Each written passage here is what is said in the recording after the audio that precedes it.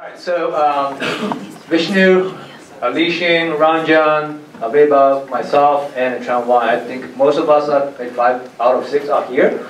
So um, if you are interested, I will, on each slide actually will indicate uh, the work of the individual uh, uh, PIs. So if you are interested in a particular topic, please seek us out uh, after the talks. And I should also say this is only a subset of uh, faculty in the College of Engineering who actually do robotics and automation work that are relevant to this subject.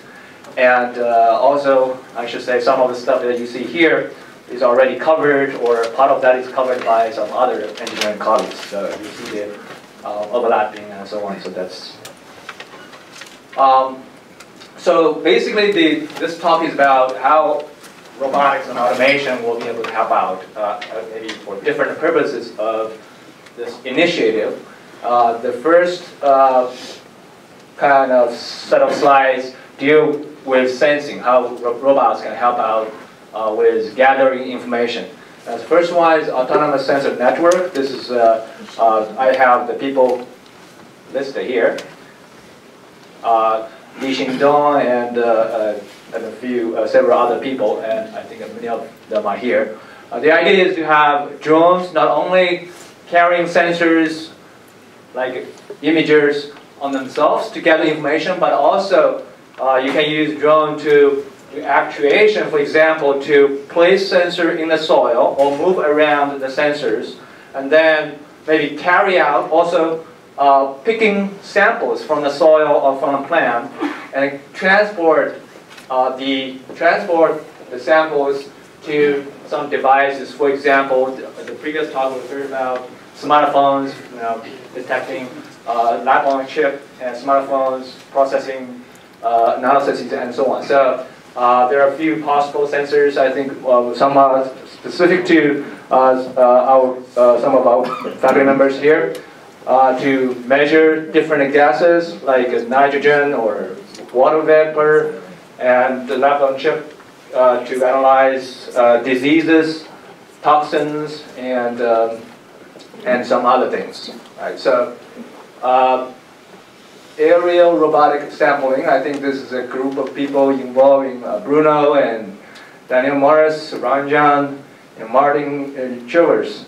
So here the idea is sometimes it's probably not so easy to just go and grab information because some information is uh, is hidden under the canopy, uh, canopy, and you have to get in, get down there. So one idea they have, I think they actually already have a proposal out uh, to NSF, is to have a drone with a suspended manipulator, and that can be basically moved around, lower at certain depth, and you can use vision, computer vision, or cameras to look at what leaves you want to click, for example.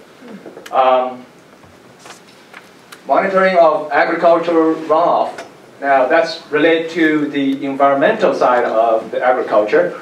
And when you have the, uh, the cows and other uh, farm animals, of course their animal waste and uh, their feeds and so on will get into water.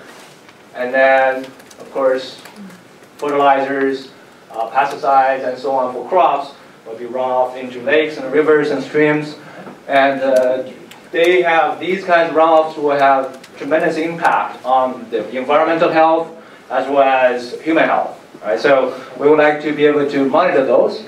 And some of this, actually, uh, most of this down here is uh, my group's work.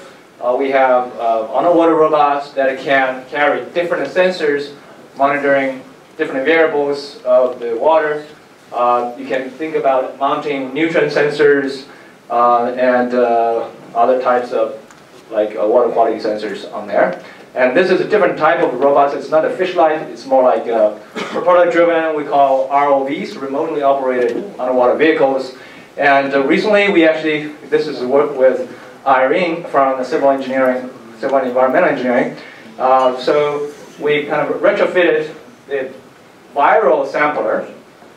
They used to have to have a big cart to push around to uh, the water source to, to collect uh, such a, uh, viral samples. Now, we kind of change it so that it can be mounted to uh, these robots. And this is a water sam sample uh, sampling device. Uh, you actually can have the robots go to the right positions, locations, and at the right time to gather water samples and come back. Uh, so these, those are just a few slides representative of what kind of tools robotics can provide to collect uh, either kind of real-time information or samples. Uh, but now, with all the data, of course, ultimately you want knowledge, you want information and knowledge, and then I think uh, Bruno says wisdom, and then uh, I forgot what was the last one. Solution, yes. Okay, I think the, that's a really good idea.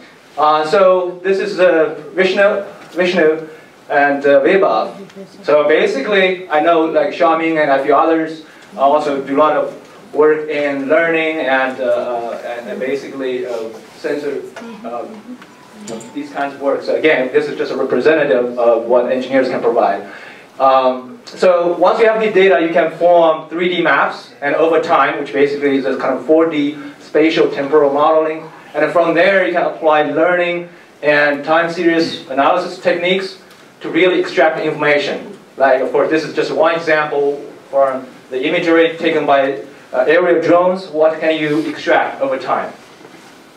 And uh, there's one more thing about, okay, after sensing, we look at some manipulation. Of course, one manipulation is to uh, picking, picking uh, the fruits. I think uh, Renfu was talking about the very cool apple uh, handling sorting machine. But here you have these robotic arms to collect, I think, the citrus.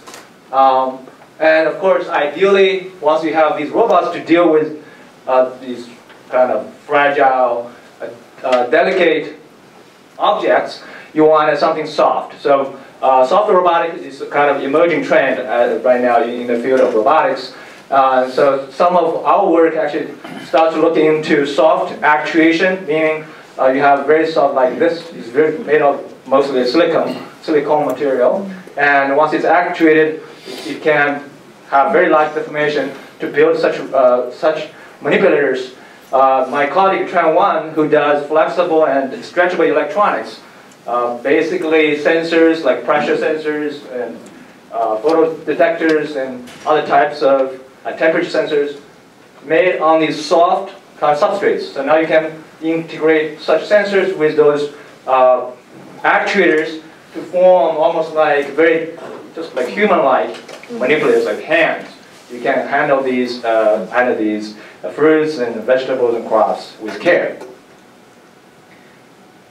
Of course, once we have robots in the field or interacting with uh, crops, we, we need to look at human-robot interaction, uh, collaboration. So uh, I have only, this is my second to last slide. Uh, so in one case, of course, you have these heavy farm machines, and all, many of these are already autonomous, right? Autonomous trucks and autonomous tractors. And uh, you want to make sure these guys do not hit the workers and farmers um, by accident. Right? So there's issue of situational awareness. Uh, how do you observe from LiDAR or vision sensors and detect and localize different objects, okay, vehicles and robots and uh, pets, dogs, and things like that, right? And then you want to plan and to, to avoid some uh, issues when you have lots of robots actually on a farm. Uh, the other issue regarding human and robots is sometimes you want human to collaborate with robots because robots cannot make full decisions. They are not humans, right? We are. The best. So um, how much autonomy you allocate to to robots, how much you, you preserve for humans. Right? So uh, my uh, relatively new colleague Weber is an expert in that area. He looks into what's the best strategy to divide the autonomy among uh, among you know, among us and robots. So I have really covered a lot of different things without getting into the details. Of course, the idea is to show some activities, expertise, and sometimes ideas uh, through this quick talk. Uh, if we say, what are the challenges? I think uh, the challenge for us here is that we have a lot of hammers, and we're looking for the nails, and that's, uh, I think that's why we have a lot of the, uh, experts in this room. Thank you.